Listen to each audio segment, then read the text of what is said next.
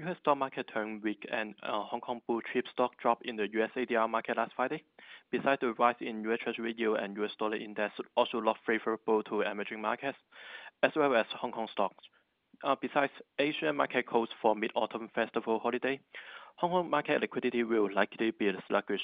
Together with continuous regulatory control for the eh, internet platform, Hong Kong stock market short-term remain weak. We expect Hang Seng Index initial support at 24,400 level.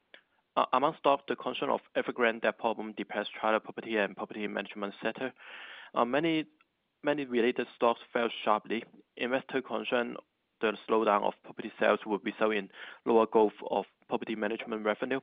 Although listed um, property management companies' valuation has already fallen to a reasonable level, short-term sentiment remains weak.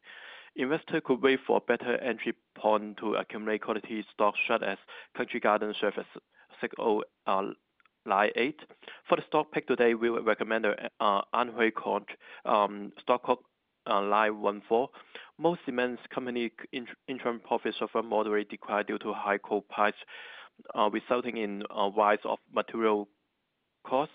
However, thanks to anticipate increase in government expenditure in the upcoming future, cement price uh, rebound significantly since early August, which will offset the cost pressure.